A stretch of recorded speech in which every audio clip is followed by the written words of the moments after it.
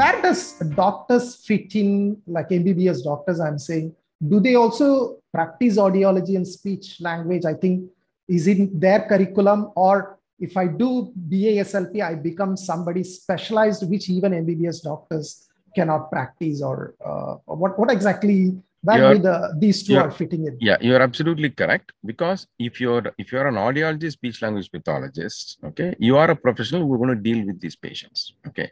But an mbbs doctor cannot do audiology. Mbbs doctor cannot okay. do speech language pathology because it's a breach of scope as per the norms of the council.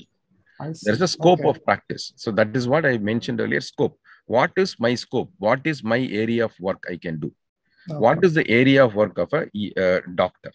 So the okay. scope of practice in this area, as defined by the government of India, is a legislative thing. Is only audiology speech pathologists can do this.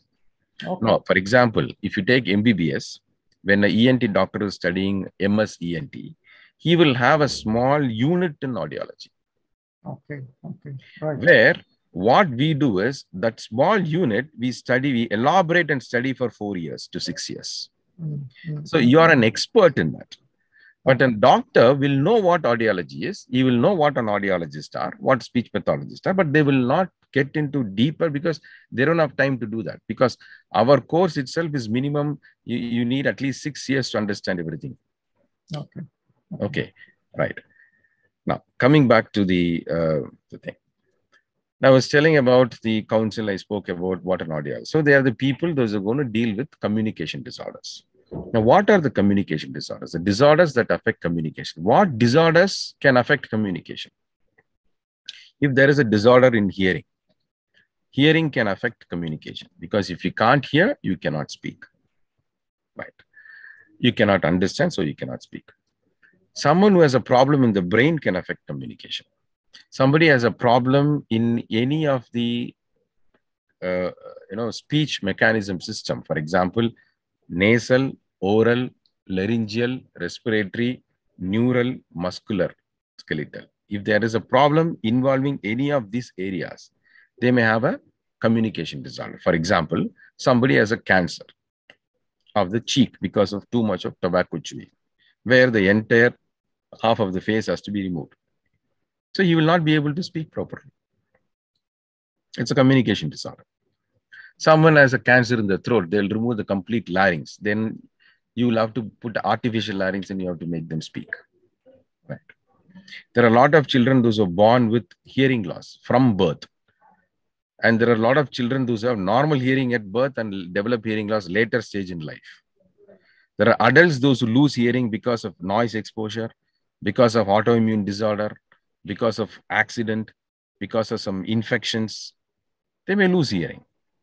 Right and um, road traffic accident brain damage and older people they get stroke because of which they can't speak right and a lot of children are born with genetic anomalies syndromes down syndrome autism you know cerebral palsy right so uh, children with the childhood uh, you know mental retardation so all these are the areas where you're going to be a major key player right so to put it in a very simple terminology, just for you to understand, on an average, approximately 20 to 25% of the world population has got some form of communication disorder. Okay. What is 20 to 25%? It's a huge. Correct. Comparative to diabetes, let's take diabetes. Diabetes is not more than 10%. This is 20 to 25%. Okay. But the professionals available, there are audiology speech pathologists available to treat these kind of uh, people are very, very, very less. Simply because not every country has this program, first of all. Right. Every country may have MBBS program, medical doctor program. Not every country has got an audiology speech pathology program. The second thing, there are only very few countries, as I told you, which has got this program. And even those countries has got very less number of institutions which is running this program. Okay. Even in those institutions, there are only very less number of intakes that happen for this program. You know what is the average maximum intake for audiology speech pathology in each institute? maximum is only 40. On an average, it is only 20, 25. So the number of graduates, those who pass out every year, graduates, those who come out every year, is very, very less compared to other courses, compared to physiotherapy, compared to occupational therapy, compared to dental, compared to MBBS. This is a very, very small niche group of professionals, those who pass out. Whereas when they pass out and come, they have a huge number of patients where none of the disciplines have got. So much of patients are available, very less number of people are coming. So what does it mean? It means the demand is going to be quite high, is already high. Right. So in a very simple term for you to understand, if there are 100 patients for each doctor per day, which means if each doctor can see 100 patients every day, let us assume that everybody in this country has gotten access to the doctor. The same analogy, if you apply to audiology speech language pathologist, every one audiology speech pathologist has to see almost 25,000 patients a day for everybody in the country to have an access. Right. Right. right. Yeah. And that's yeah. the ratio. Mm. So the reason why I have to give this uh, analogies and figures is for you to understand the importance of the the need, basically the need, okay, and the demand. Right. So look at that. In your city, okay, I've told about the need. I've told about the scope. I've told about the opportunities. I will tell you about the growth now. Now, everybody wants to reach the top, right? Now, how will you reach top? It is competition.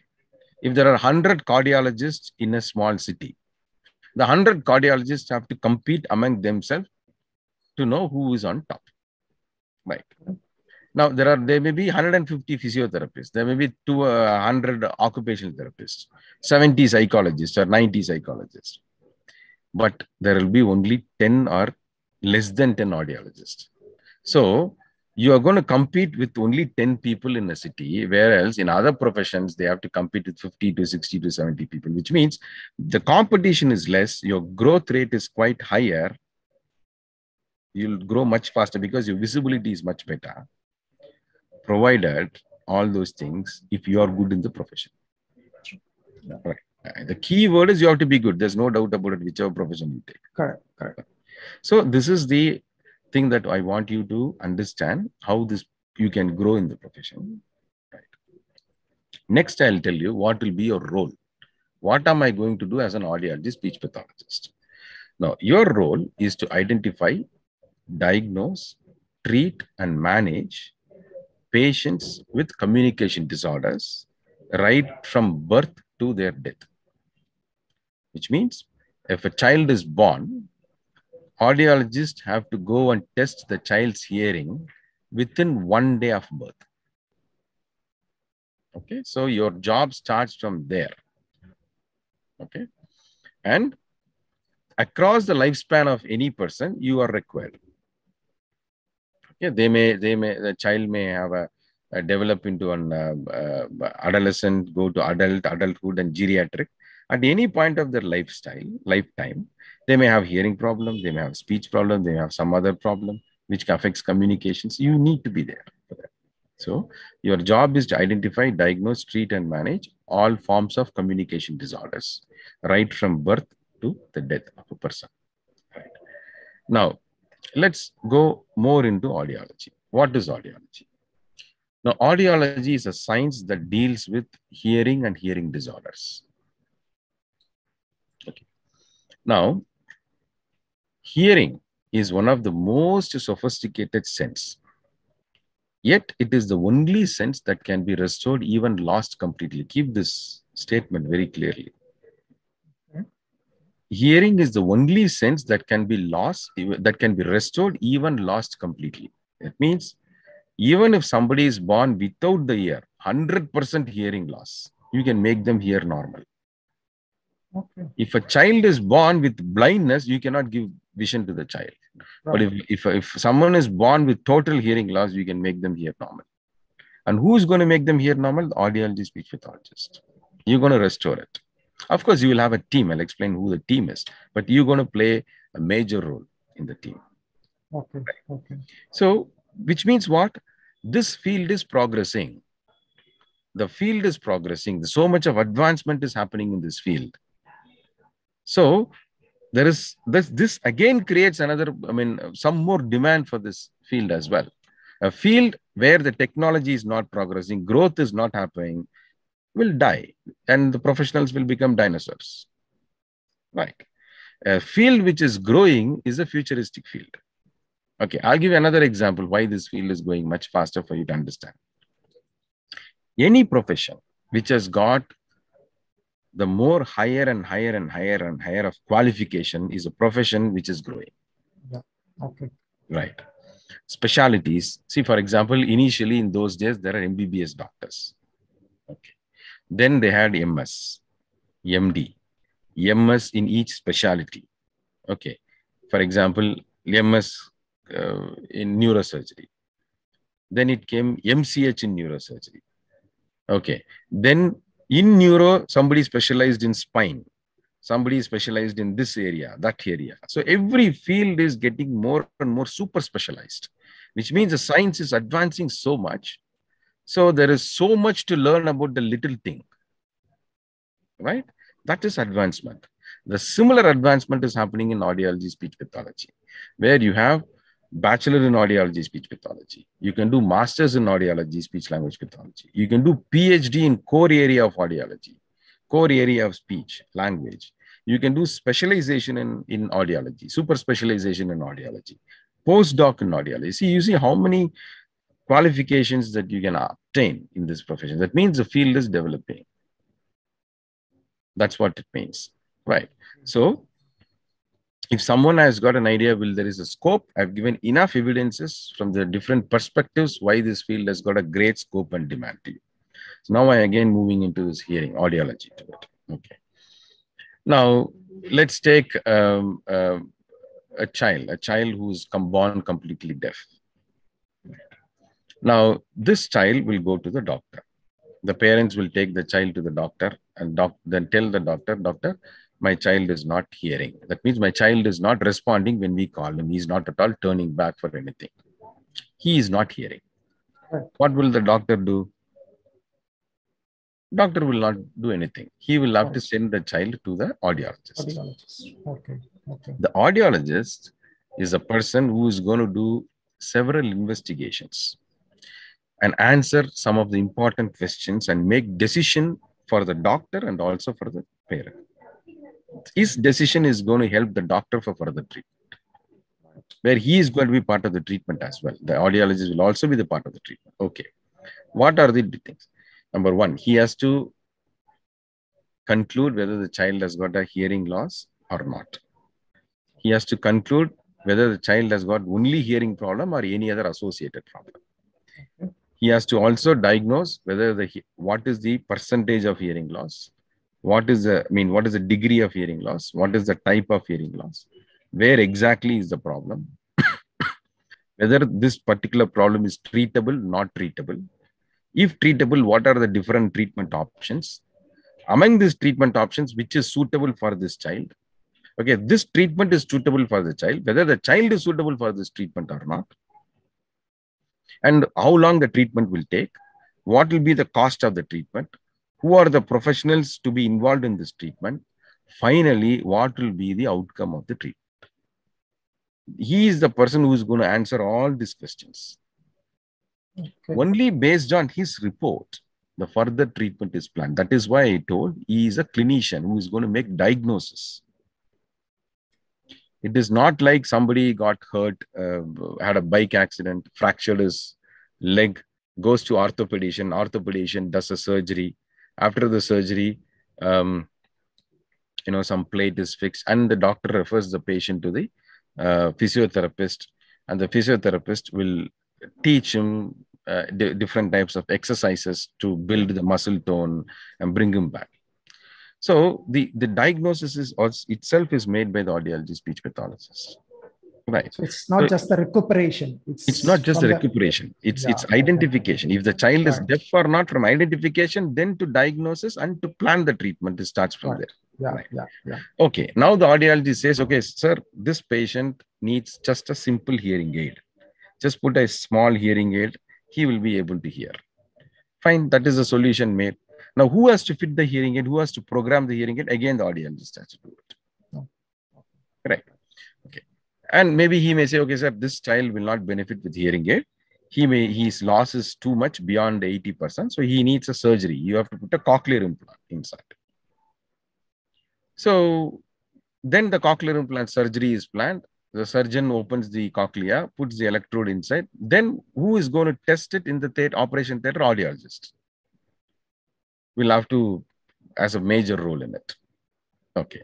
After the implant is done, again the child will come to the audio. Audiologist has to program the implant to make him hear. Right. Other decision, the, the audiologist will take, okay, the child has got normal hearing, nothing to be done. That decision is also made by them. The audiologist will say, no, sir, the problem is in the middle ear. The eardrum is, there is a hole in the eardrum. There is a pus in the middle ear. The third bone or the second bone or the first bone is missing. He has got a problem there. Then he, need, he does not need any other thing. He needs a medical management. So then the doctor will do the medical management, the surgery or medicine, whatever it is. So the crucial decision making, and the most important person along with the doctor is an audiologist. He plays a major role. Okay. So I, I want to make one point very clear to everybody. Every time I say this is the role of audiologist, audiologist, audiologist, it does not mean other team members are less important. Right. Keep that in mind. I'm here to highlight the importance of audiologists. That is why I'm highlighting their importance. Okay. Keep that in mind. Yeah, Professor. Yes, sir. So this yeah. is this is the one of the role of audiologists, making diagnosis. Right. Now, the next is, as I told you, when it comes to the uh, treatment part. For example, after the diagnosis is made, during the treatment also, the audiologist plays a major role, fitting the hearing aid, programming the hearing aid, optimizing the hearing aid. Okay, it's very important. See, optimization of hearing aid and fitting the hearing aid is a very skilled work. It is not like how you see in the advertisements today, you know, you come buy your hearing and go. That's all is not correct. That is not optimizing, right? So it's a role of an audiologist, and every hearing aid center, every hearing aid place, everybody needs an audiologist. Without an audiologist, nobody can sell a hearing aid or dispense a hearing aid or fit a hearing aid. If somebody is fitting a hearing aid, optimizing hearing aid without an audiologist, as per the constitution, it is illegal. So which means your demand is increasing. And keep one more thing in mind. As per the WHO, the World Health Organization, report on hearing. It's called the WRH, World Report on Hearing. The, it has been predicted and announced one of the most um, you know economically pressurizing disorder in the future is going to be hearing disorder. Mm-hmm. because every in 10 years down the line every fifth person on the road is going to be deaf or some form of hearing loss. Right. And it, we are seeing it we are seeing it. Because of all this in, uh, entertainment and noise pollutions even youngsters are getting hearing loss. Right. Okay that's a different topic we'll talk later. However the reason why i wanted to quote this is to tell the importance of it so the, the, the management option is hearing aid optimization cochlear implants they play a major role right and also the brainstem implants. I'll brainstem implant I'll highlight a little more uh, later because that's very very interesting thing that everybody should know what it is. Okay. So at every level, this audiologist plays a major role, right? And there are a lot of situations where emergencies can happen here. For example, I have a lot of patients. One of the patient is, is a, a very nice gentleman. He hails from an Islamic family, very nice family. He had his biryani, slept woke up in the morning with total hearing loss. Oh, okay. okay. it is not. It's not because of the biryani. Okay, okay, yeah. Okay, it's an autoimmune problem, right? So hearing loss can happen any point of time. It can happen just like that. People can lose hearing in fraction of seconds completely. That's okay. a medical emergency where the audiologists are required to diagnose and help in the treatment. Right. So this is one aspect of it.